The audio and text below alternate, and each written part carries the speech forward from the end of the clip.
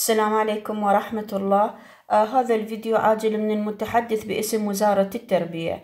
يقول المتحدث إعلان نتائج الامتحانات النصفية بعد انتهاء العطلة الربيعية وتنتهي العطلة بتاريخ 15 اثنين. طبعا المتحدث باسم وزارة التربية هسه قبل آه نقول قليل آه صرح وقال آه نتائج الامتحانات نصف السنة يقصد النصفية يعني نصف السنة آه ورا ما تنتهي العطلة الربيعية. أول ما تداومون آه بالاعتيادي حتنتهي العطلة الربيعية يوم 14 ويوم 15 تداومون أول يوم. آه دوام النصف الثاني أول يوم هو يصادف يوم 15 اثنين. أول ما تداومون المتحدث بلغ المدارس أو أنطى خبر رسمي بأنه لازم أول ما تداومون يوزعون النتائج مال نصف السنة لكافة المراحل الابتدائي والمتوسط والإعدادي.